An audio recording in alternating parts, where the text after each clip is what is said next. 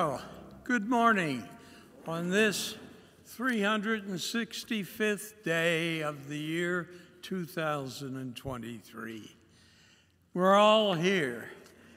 Those of you in the sanctuary and those of you online, we're so glad you can be with us to worship this last day of the year. Let us now enter into a time of worship. Give thanks to the Lord. We will call on God's name and make known his wonderful works. Seek the Lord continually. We will watch and listen for a sign of God's grace. Together, let us worship God. Let us rejoice in God's presence and praise his holy name. Please stand if you're able for the following two hymns.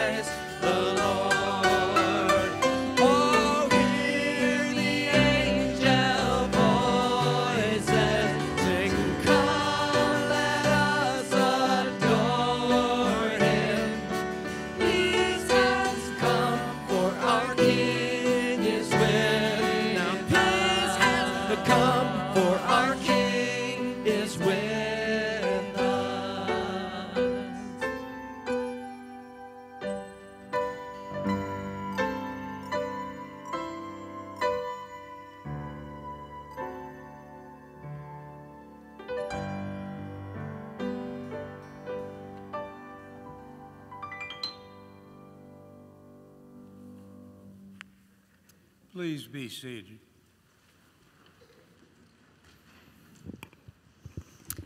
Okay, my adventurer friends, I know it looks a little bit different today, but good news, we have Sunday adventures today. So, moms and dads, it's just going to be a little bit different for dismissal and return today. We're going to bring the kids back into the sanctuary at the end of the service, so please stick around for a minute or two to get your kids before heading off to Brooks Hall for fellowship and coffee hour. So, all my adventure friends, where are you? Can you raise your hands so I can see you? That there's only two, three, four. Who's excited? Oh, I see some in the back. Okay, my oh, and some big friends too want to come. All right, all my adventurer friends, say goodbye to mom and dad and all your grandparents, aunts, uncles, everybody around you, and head off to your Sunday adventure.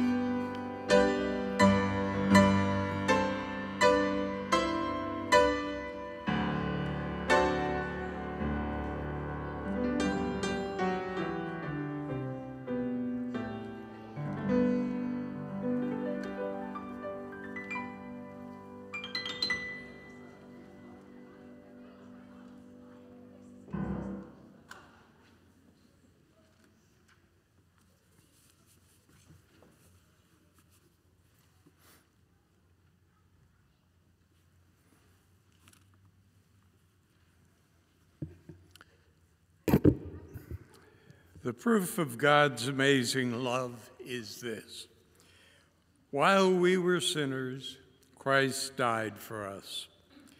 Because we have faith in him, we dare to approach God with confidence.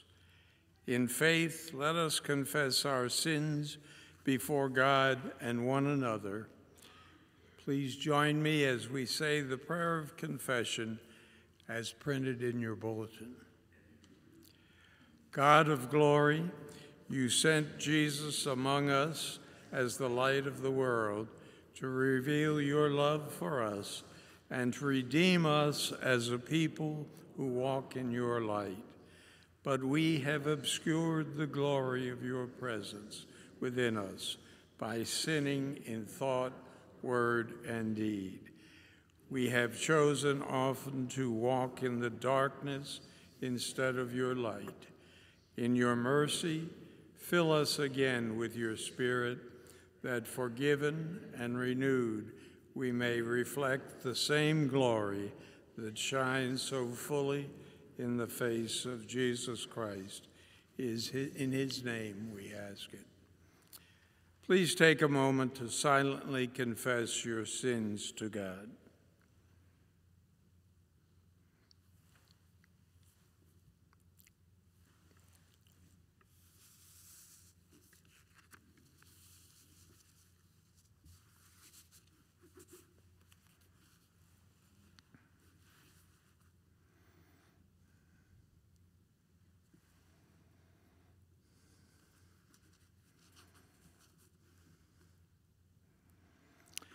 The mercy of the Lord is from everlasting to everlasting. I declare to you in the name of Jesus Christ, we are forgiven. May the God of mercy, who forgives you all your sins, strengthen you in all goodness, and by the power of the Holy Spirit, keep you in eternal life. Amen. If you're able, please stand for the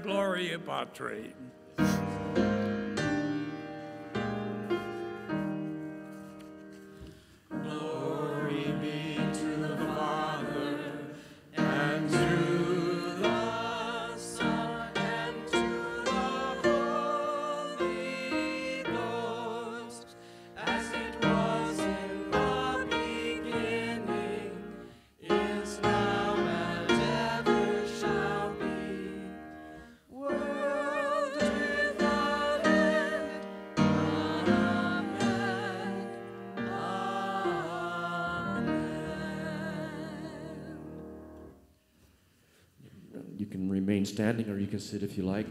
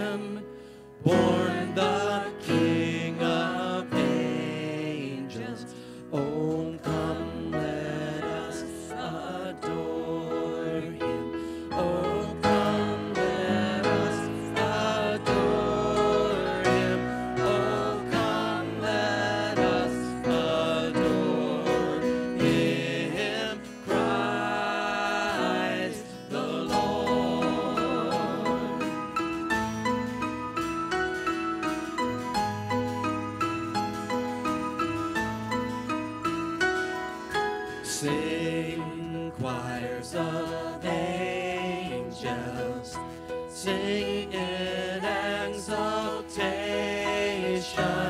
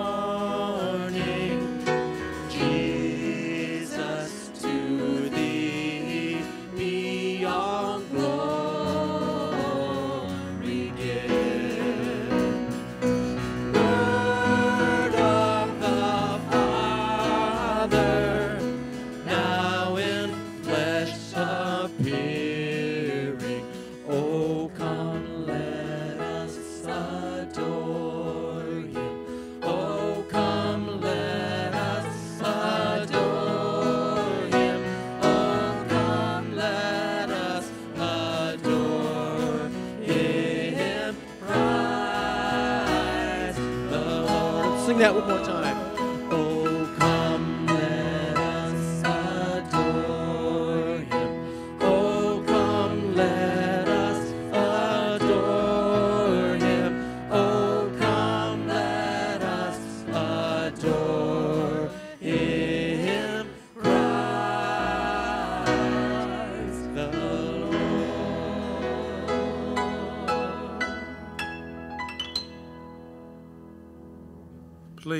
seated.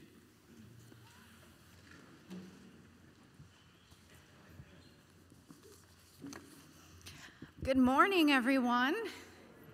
Happy New Year. We made it to the last day in 2023.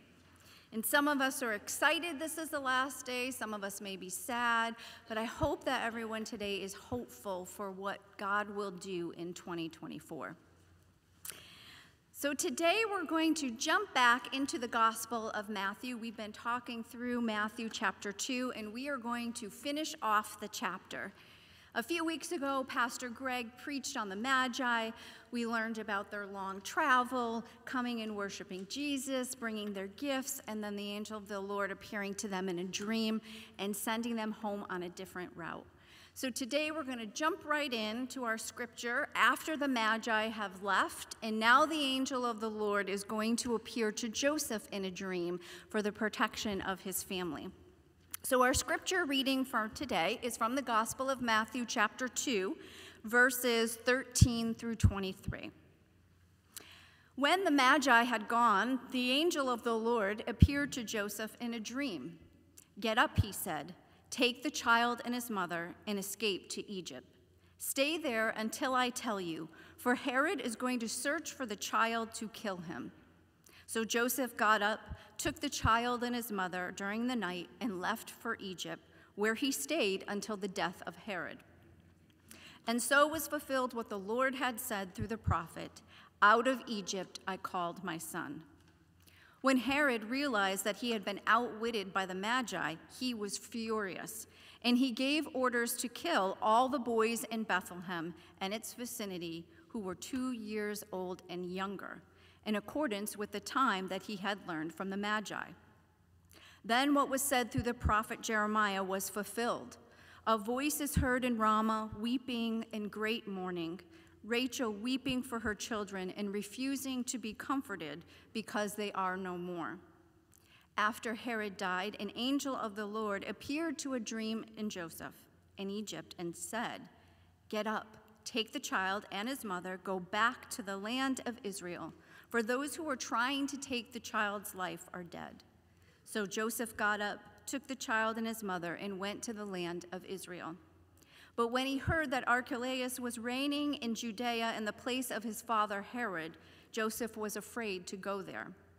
Having been warned in a dream, he withdrew to the district of Galilee, and he went and lived in a town called Nazareth. So was fulfilled what was said through the prophets, that he would be called a Nazarene. This is the word of the Lord. So I want you to go back with me for a moment if you have children and think about when they were first born, your very first child. Can you remember some of those feelings that came with that? I remember when our first child, Caleb, was born. Dan and I were looking down at this child with such hope we were so excited for what his future would be, what the purpose God had created him for. We were so thankful and, and actually relieved that he was finally here. And then, in the midst of all that joy, mild panic began to set in. Do any of you remember that moment of panic that set in? Because we realized this child could do nothing on its own we realized that he was going to depend on us to teach him everything and do everything for him. And as first time parents, this was very overwhelming to us. I can remember all those feelings of fear I had and self doubt and asking those big questions like, God, do you know what you're doing? Am I the right mom for Caleb? I mean, what if I can't do this? What if I mess this up? What if I don't teach him what he needs to know? And the big question what happens if I fail? What does God do then? And during this time of year, I get very nostalgic about the birth of my kids and all of those emotions that come with it because I think about Mary a lot. And I, I wonder did she wrestle with some of the same feelings I had, some of those fears, some of those doubts? I mean, she was a first time mom and a lot younger than me, but on top of that, she was chosen to raise the Son of God. So I wonder did she second guess herself? Did she ask, Why me, God? Did she worry that she wouldn't be able to do this if she would fail? And did she wonder, Then what, God? But then I think about all the joy and the hope they must have experienced the first time they held Jesus in their arms. They were the very first ones who held the Savior of the world in their arms the first one who embraced the fulfillment of God's promise that their people had been waiting for for so long. And I can only imagine in that moment what the atmosphere in the stable would have been like that night. I mean, there were shouting and praising from the angels, declaring the birth of Christ. Shepherds were running to meet this Messiah. Hope had filled the earth, joy had filled the earth. Finally, God stepped into our world and everything changed. Imagine the joy that filled the earth that night. But fast forward a little bit because not everyone was feeling so joyful about this event. We see King Herod was not celebrating the birth of a newborn king. No, instead, he was consumed with his jealousy and fear. The hearing of a newborn king being somewhere in his vicinity opened the door for his fear to totally consume him. Now, Herod was particularly a brutal man. He had no problems killing anyone who posed even the slightest threat to his reign. He was known for killing people, like one of his wives and some of his sons. There was actually a saying at the time of Herod's reign that said, You were better off being one of Herod's pigs than his sons. So you can get the idea of the kind of man we're talking about one that was all about protecting his reign and his power. But fear is powerful, and fear of losing power and protecting your position can really drive people to do the most dangerous extremes, even kings. And here we see Herod falls into that. Afraid of losing everything, he orders the death of all two year old boys and, or children and under in Bethlehem and its vicinity. In his anger against the Magi for being deceived and reacting out of his fear, he takes the lives of innocent children. That was the world that Jesus was born into. Jesus was born into a broken and violent world, a world that desperately needed Jesus to come with his light, to drive away darkness and evil. But that all came with opposition, and Jesus faced opposition pretty early on in his earthly life. I mean, he wasn't even here on earth that long, and already we can see a war between good and evil playing out. We can see a war that Satan is orchestrating against God, the Creator, because Satan himself is too afraid. He's afraid of losing his power and his reign in this broken world. And he knows the damage that Jesus will do to him and everything he can lose. So he turns to try to destroy God's plans and even if that means helping to orchestrate the murder of young children. But the thing about Satan is, he doesn't change his tactics very often. His game plans are always the same, and he tends to repeat history. So we can look back in the Israelites' history and we can see that this was not the first time that there was a threat to killing young children. In Egypt, we have Pharaoh who was afraid of losing his power because the number of the Israelites had grown so tremendously that they literally had enough manpower to overthrow Pharaoh. That was not their plan or their intention, but fear, when it comes in and takes over, it makes you a little paranoid. And in his fear, he ordered the killing of all newborn Hebrew male babies to prevent furthering the Jewish nation. See, there were already plans hundreds of years before Jesus even came on earth to try and stop that motion. But when God sets something in motion, when God has a plan, He provides provisions for all the attacks that will come against it. And in Egypt, we see that he already had provisions in place. He had two faithful midwives who refused to follow Pharaoh's orders. Moses, his mother, who was faithful, hid her son until she couldn't anymore, and then puts him in a basket down a river in hopes and in faith that God will provide someone to save him. And he does. God provides Pharaoh's daughter in finding this basket. And God provides a way that allows a Hebrew boy to be raised in Pharaoh's court, one that should have been killed, but is accepted in his court because God's plan was to have Moses lead them into slavery. Man's plan was to have Moses killed before he even had a chance, but God's plan was totally different. And when God has a plan, he makes provisions for his plans. Now, we know the story how this comes. Moses does lead them out, he leads them out into freedom, but it doesn't last very long because their disobedience and their ugliness and sin of their hearts propelled them into this vicious cycle of sin and bondage. And so they spent most of their lives in battles and in bondage.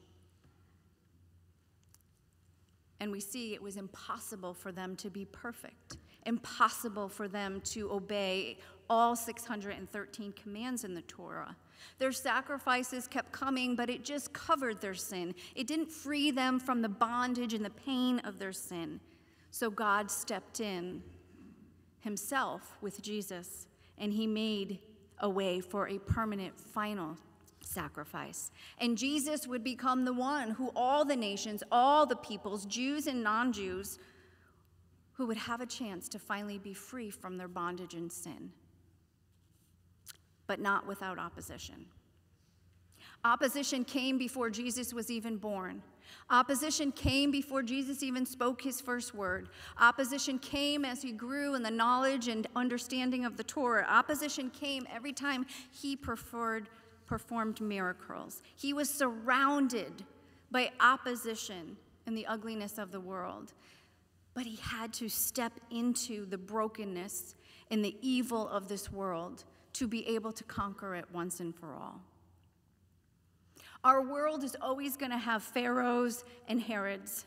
There's always going to be a struggle between good and evil. It's still happening today. But the good news today is that if you believe in Jesus, you stand in victory over all those pharaohs, over all those Herods, over all the evil. It doesn't mean that it goes away, but it means that it doesn't have a hold on us. It can't consume us, it cannot destroy us. Unfortunately, we have to live in this broken world and experience the pain of it. But God's plan for your life will never be destroyed by it. God will always make provisions for your oppositions. Now, we tend to get very caught up in the opposition to the point that we miss those provisions. In fact, the provisions are usually long set into motion way before we get to the moment of opposition. Our lives are not an independent string of events. Our lives are a continuous plan of God. So, what happened to you five years ago may be important for you right in this moment, or maybe it will be important for you 10 years from now. But everything happens for a reason because God has a purpose for everything in the scheme of His plan for your life.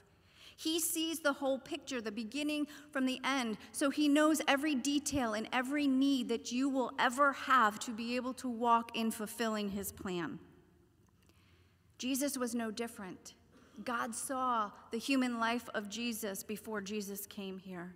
And he knew exactly how every moment would play out and how every moment would work together to fulfill the ultimate plan God had for him. So King Herod's order was no surprise for God. God was already working this out way before this was even thought of. And we see that with the Magi, that God uses the Gentile Magi, those that don't have faith in this God, who do not worship this God, but He uses them to fulfill His plan. Now, we know the story of the Magi. They came and they brought very expensive and significant gifts. And there is great significance about the gifts of gold, myrrh, and frankincense, which we're not going to get into today. But these gifts had an immediate purpose for a family that was about to have a big need. They would provide financially for a poor family that was about to be on the run to save their son's life. Joseph and Mary had no idea at that moment that they were going to face opposition, and they certainly had no idea that they were going to face opposition from King Herod. But God has provision for them. He sends them to Egypt, and not in a place of isolation. No, He sends them to a place where there would be community and help for them. Many historians say that at the time of Jesus in Egypt, there were about 250,000 to 1 million Jews in the country of Egypt. So here, God sends them to a place where they would have support, a place where Jesus could grow in the Jewish faith and grow in its traditions. He provided a community because he knew this family would be separated from their family for quite some time. And all of this happened before Herod even gave his order. God aligned all the provision they needed before they even had to run. That is God going ahead of you. So, what you're experiencing today could be the provision you will need for future opposition.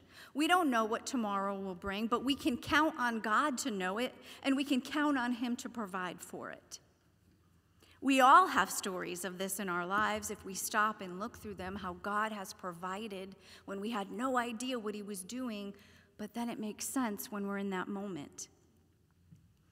When I first came to First Presby, one of the first people that I got to know was Maria Lindsay. And Maria and I bonded pretty quickly because her and John actually lived around the corner from my mom in Wallingford. And they lived so close that actually, when there were no leaves on the tree, I could see their house from my mother's dining room window. And when they were moving, Maria gave my mom a kiddie pool for our dogs. My mom and Maria had met years before, had an encounter years before I ever came here, even thought of coming here. So when I came here, Maria and I had a lot to bond over. We had a lot of things to talk about in Wallingford and all of those things.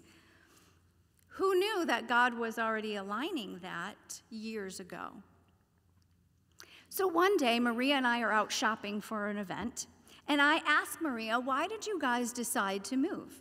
I expected to hear something like, We wanted to be closer to church now that we're retired, we wanted to be closer to family, and that was all true.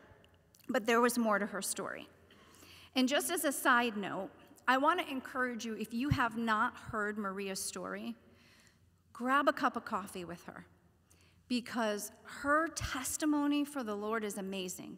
It is amazing to the power and favor of God and how He really does provide everything we need just at the right moment. And as she continued to tell her story, this is what stood out the most to me and still stands out today. She said to me, At the time, I really thought that we were moving for John, that we were moving to make it physically easier for him. I had no idea that God was setting this all up for me so that I would be in the perfect place when I needed treatment for cancer.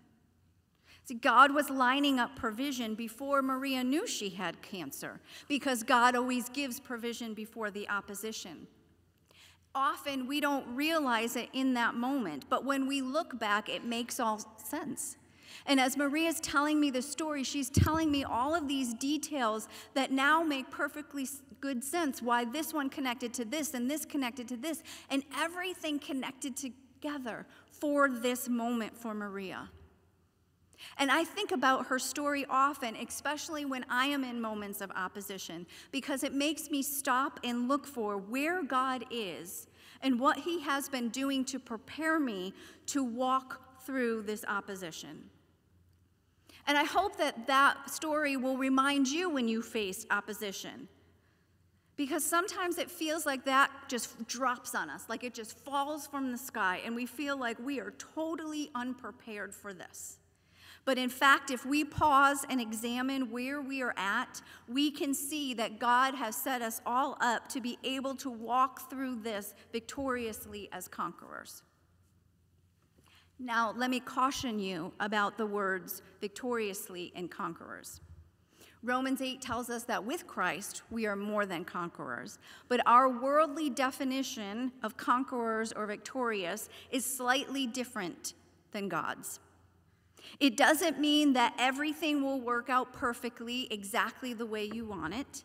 It doesn't mean that we won't endure pain or suffering. It doesn't even mean that the final outcome will be in our favor.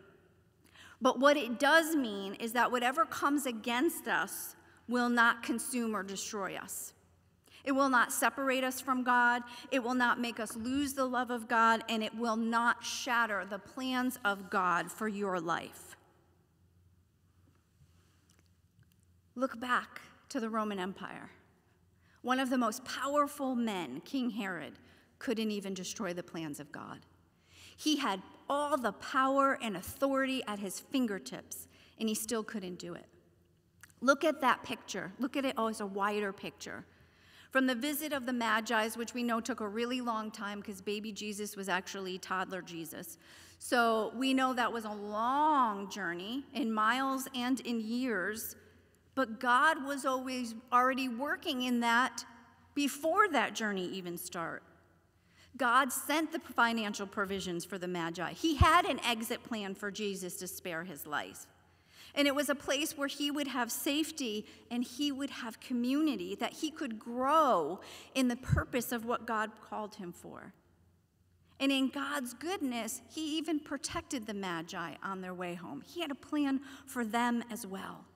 The God of the Jews used the kings, the wise men, the Gentiles of the Magi as part of his plan that would bring peace and eternal life to all that would put their trust in Jesus. Years in the making, every detail worked out so perfectly so that when Herod gave his order, he had already failed. God had already defeated Herod's plan before it even started. That is God going before you. We have no idea who God will use in our lives believers, non believers, rich, poor, successful, unsuccessful, educated, non educated, nice, kind, or mean and nasty. We have no idea, but what we do know that God will always provide provision for your opposition. God's plan for your life will always be fulfilled, and nothing or no one could ever destroy the plan of God. Now, I know it may look like at times the world is winning, and I'm sure it looked like King Herod won when he ordered that, those killings. And I'm sure it looked like Herod, Pharaoh won when he ordered those killings. But no matter what it looks like in the world, God always, always has the final say. So when opposition comes, do not fear. Look where God is at and what He has been doing, because He has been preparing you for this very moment. Do not allow what your earthly eyes see to dictate what you believe about your circumstances. Stop and look at the wider picture because that moment, that opposition, or that challenge that you face, you have already been prepared for. Pause and look for where God is and where He's working right now to prepare you for this very moment. When you face opposition, you don't face it alone. And I know that sometimes it feels like we do. We feel like we're walking through this all by ourselves and sometimes it looks like it to us and others. But God walks with you. He has gone before you to prepare the way for you to walk victoriously through this with Him. No matter what we see or how we feel, if you have put your faith and trust in Jesus, you can hold on to the promises of Hebrews 8 that with him you are more than a conqueror. You can hold on to the words of Paul that neither death nor life, neither angels nor demons, neither the present nor the future, nor any powers, nor height nor depth, nor anything else in all of creation will ever be able to separate you from the love of God that is in Christ Jesus our Lord. Those are your promises. Hold on to those promises because the Lord does go before you. He will never, ever allow you to face a situation where He will not provide the provisions for you to walk victoriously through it with Him. He gave you His Son. That's the greatest proof we could ever have. God withholds nothing for us to fulfill His plans. God sent His Son for your life to have freedom, to walk in freedom, and to have life more abundantly. You have the ability to walk in the victory of Christ Jesus. So look for God's provision because it's all over your life. Your life is completely saturated with God's provision for whatever you will need. Go to Him and ask Him to reveal to you where He is and what He has been doing to prepare you for such a time as this. Let us pray. Lord God, we thank you so much, Lord, that nothing, nothing will ever be able to separate us from the love of you. We thank you, Father, that you see the beginning from the end and you know everything in our entire lives that we will ever need, and you have already provided for that. And as we go into this new year, Lord, and the challenges or the oppositions we may face, the joys and the celebrations we may face, Lord, we know that we face them with you. So help us all, Lord, not to be consumed by what our eyes see, but to be encouraged and hopeful and joyful in what you are doing for us. Lord, help, help us to have eyes to see where you are and where you are at work. Lord, help us to rest in your plan and know that what you have planned for each one of us will always always come to pass. We thank you, Lord, for this year, for all the provisions that you have provided for us in 2023, for walking through us through some difficult times and celebrating with us in some joyous times. We, Father, we just come before you and we lift up 2024 to you. We bow to the plans that you have for us. Help us, Lord, to let go of our worries or our fears and fill us with your excitement and hope. Help us, Lord, to rejoice in what you will do because we know that you are a good, good God, Lord, and you have good, good plans for your people. And we thank you, Father. We thank you that you have already gone before us, that you have already prepared the way, Lord, and that we will be victorious for you. So as we worship you today, Lord, we come together as your people with hearts wide open, with love flowing to you, with gratitude in our hearts and thankfulness, Lord. And we join together and we say the prayer that your Son taught us Our Father, who art in heaven, hallowed be thy name. Thy kingdom come, thy will be done, on earth as it is in heaven. Give us this day our daily bread, and forgive us our debts as we forgive our debtors. And lead us not into temptation, but deliver us from evil.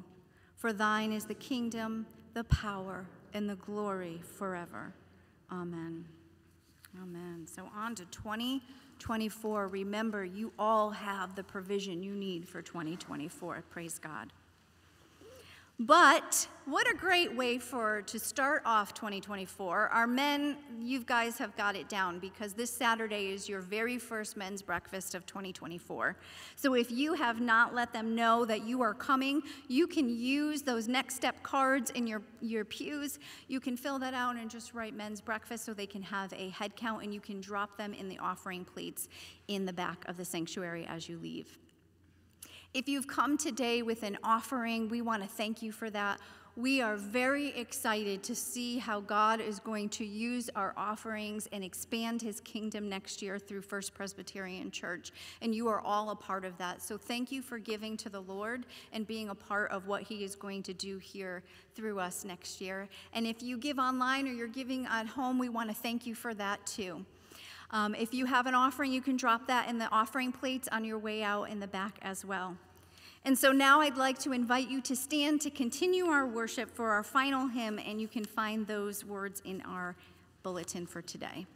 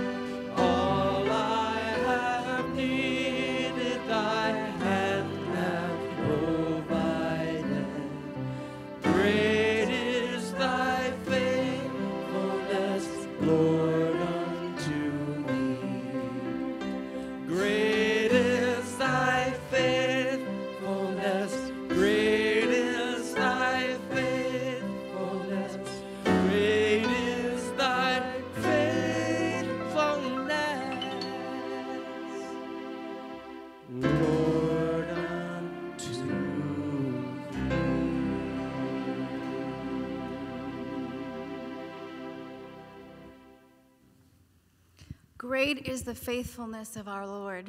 Trust in that. Open your eyes and see God's provision all over your life. And as you go on the very last day of 2023, blessings and happy new year for you in 2024. May the Lord bless you. May the Lord keep you. May the Lord shine his face down upon you and give you his peace. And all God's people said, Amen.